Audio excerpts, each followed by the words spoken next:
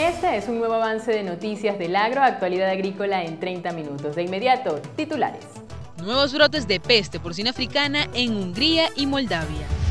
Importaciones chilenas de mandarina llegan a su fin. Comenzó la Semana de la Agricultura en Latinoamérica y el Caribe.